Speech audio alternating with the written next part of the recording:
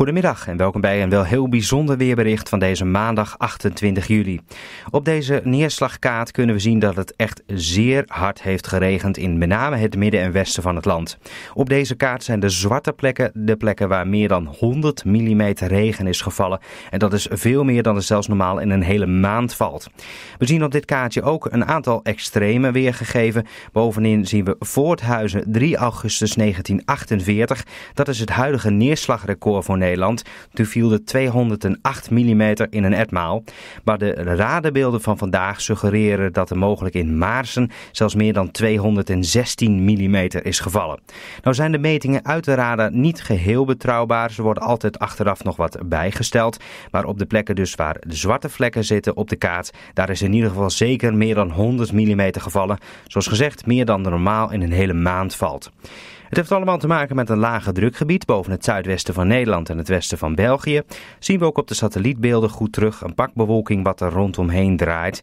De zwaarste buien op dit moment boven het midden van Nederland. Boven België is de bewolking wat egaler en is de neerslag ook wat rustiger. Als we naar de radarbeelden gaan kijken, dan zien we dat ook terug. De zwaarste buien trekken op dit moment over het zuidwesten van Gelderland, over Utrecht en over Noord-Holland. De komende uren krijgen ook Flevoland en mogelijk nog delen van Overijssel met deze zware buien te maken. Het kan erbij omweren, nog flink regenen en ook windstoten zijn niet uitgesloten.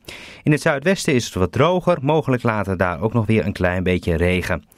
Het weerbeeld voor de namiddag en de avond ziet er dan zo uit, met name in de zuidelijke helft van het land, maar ook delen van Noord-Holland, Flevoland, Gelderland en mogelijk dus ook Overijssel.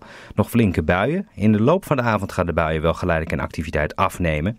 Zo halverwege de avond is het zo tussen de 20 en 22 graden. Daarbij waait er een matige aan verzee vrij krachtige wind uit noordelijke richtingen. Komende nacht hebben we nog steeds te maken met een aantal buien. Met name in het zuiden en zuidwesten, maar ook in het midden van het land is een bui mogelijk. Het koelt af naar zo'n 16 of 17 graden. En zeker in het binnenland gaat de wind geleidelijk aan verder afnemen. Nou, morgen ziet het weerbeeld er een heel stuk beter uit. In het noorden schijnt de zon flink, daar wordt het zo'n 24 of 25 graden. In het midden en zuiden hebben we een afwisseling van wolken en zon. En later zouden met name in Limburg weer een enkele regen- of onweersbui tot ontwikkeling kunnen komen. In het midden en zuiden wordt het zo'n 26 of 27 graden. En verder waait er overal een matige wind uit noordelijke richtingen. Kijken we dan naar de dagen daarna. De woensdag, donderdag en vrijdag blijft het licht aan de wisselvallige kant. Op de donderdag is het overwegend droog. Maar woensdag en vrijdag is wel weer een enkele bui mogelijk. De middagtemperatuur ligt zoveel al tussen de 20 en de 24 graden.